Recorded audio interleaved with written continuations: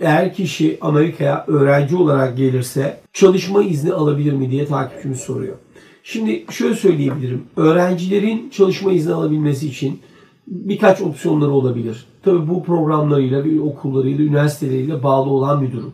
İlki eğer üniversite ya da okulu kendi bünyesinde ya da içinde ona çalışma imkanı verirse 20 saate kadar o zaman çalışabilecek onların izni dahilinde. Ya da ikinci olarak eğer üniversitede okuduğu bölümünden dolayı CBT denilen çalışma iznine hak kazanabiliyorsa, program buna izin veriyorsa o zaman eğitim aldığı alanda üniversite eğitimi devam ederken dışarıda başka bir şirkette çalışma imkanına sahip olabilir.